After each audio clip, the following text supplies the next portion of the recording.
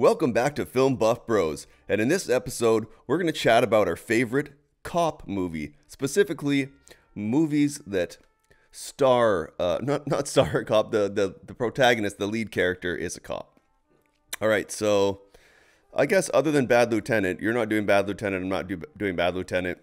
We've chatted about it before, and that's probably my favorite cop movie. But other than that, another Harvey Keitel movie, Cop Land, starring Sylvester Stallone and it has a all-star cast super like you got the the guy from terminator 2 and x-files stallone keitel michael rapaport and a bunch of other guys who i think have been in like sopranos and other like um, mob boss kind of movies and uh, something pepper barry pepper i think is in it um, i think maybe it's not him but yeah a lo- lot of recognizable faces. Ray liotta man great cast and a unique performance from Stallone. He's very like you know humble, meager, kind of defeated. Um, oh and De Niro as well. De Niro, like man, yeah, crazy all star cast. But yeah, cool, unique performance from Stallone.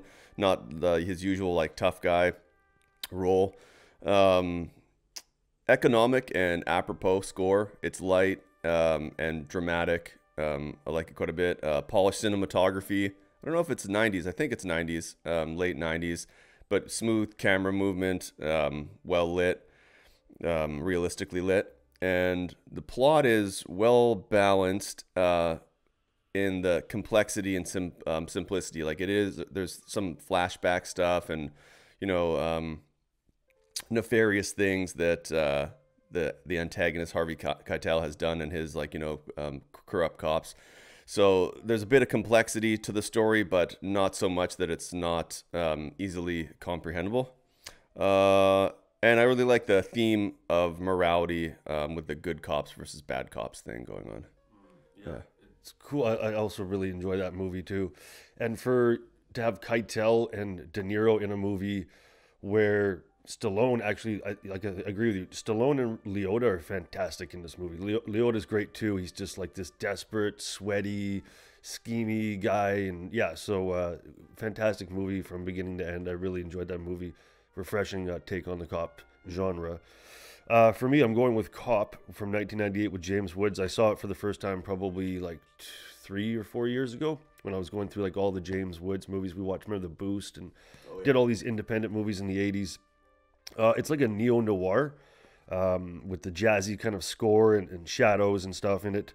Uh, and it's based off a novel by James Ellroy, who also did Black Dahlia, and the director of this movie, Cop, also did Black Dahlia as well. And he actually produced a whole bunch of uh, Kubrick's early films, oh, like really? The Killing and uh, Lolita, and um, a couple more. James B. Harris, but James Woods, like he's such a believable actor. Um, apparently, he's got a super high IQ as well but he's just got a lot of charisma. He makes interesting, risky kind of choices as an actor.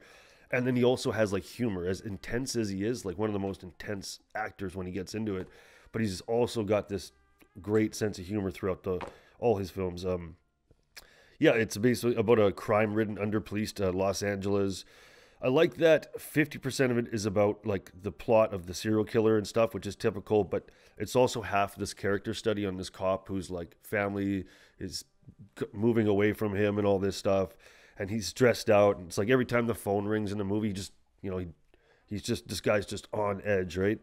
Um, yeah, pacing's on par. Cinematography solid. Nothing, nothing crazy. Great uh, character acting by uh, Charles Durning, who's always a great character actor, and the captain, uh, the guy who plays him as well, fantastic. Um, yeah, just it's just highly recommend Cop 1998. It's one of those un- underrated um, cop movies. Uh, yeah.